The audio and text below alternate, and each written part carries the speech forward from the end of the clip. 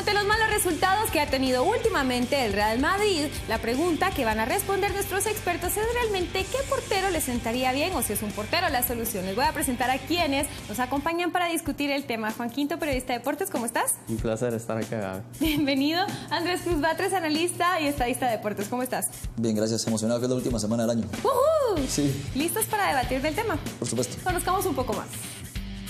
Tras la ola de resultados negativos que golpean al Real Madrid y los errores cometidos por Keylor Navas y Kiko Casilla, el equipo merengue intentará nuevamente fichar al portero español David De Gea hasta el mercado de verano, algo que no consiguió en el anterior debido a la, a la documentación que no llegó a tiempo antes del cierre del mismo. Expertos, ¿realmente necesita el Real Madrid a David De Gea? 30 segundos para exponer su punto de vista. Inicia Juan Quinto. Ahora. Gracias.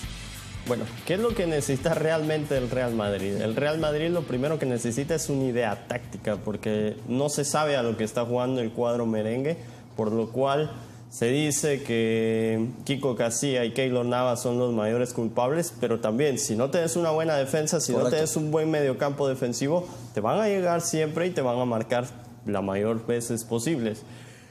Keylor Navas para mí no es un portero que podría, o bueno, que tendría que ser el titular del Real Madrid, debido a que en el Real Madrid tenés que tener una estrella para tener que jugar siempre, por lo Tiempo. cual para mí David De Gea sí sería un portero a la altura de lo que es el cuadro merengue, y por lo cual luego de la partida de Iker Casillas, con De Gea estarían tranquilos en la portería blanca. 30 segundos, Andrés. Gracias, Gaby.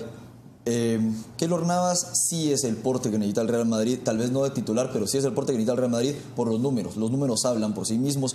Un portero al que le llegan demasiado, lo acabas de decir, es una- un medio campo que no defiende nada y una defensa que no defiende nada. Y Keylor Navas, antes de su lesión, estaba jugando re bien, era el mejor portero, tuvo récord, batió récords de Iker Casillas. En cambio, de, eh, bueno, en cambio, en cambio de Gea, de Gea está teniendo una temporada para el olvido con el Manchester United. Yo no, no creo que sea la solución. Va a llegar, o, puede, o es muy probable que llegue David De Gea, pero yo no creo que sea la solución para los problemas del Real Madrid ahorita. O sea, en eso creo que estoy de acuerdo con vos. No es la solución de Gea. De que puede llegar y que podría ser el portero titular, sí, pero no es la solución. Tiene que cambiar mucho ahí. Y de llegar va a ser el portero Sí, titular del o Madrid. sea, si llega así. Ahora, el, no que, el lo que- el que sí se tiene que ir es Benítez. Siempre, discusiones del Real Madrid pagan en adiós Benítez o que saquen a Florentino. Alguien. Yo en lo personal, yo sacaría a. Florentino Pérez ahorita, pero como. Ajá, no es que por ahí empieza. Como yo no mando.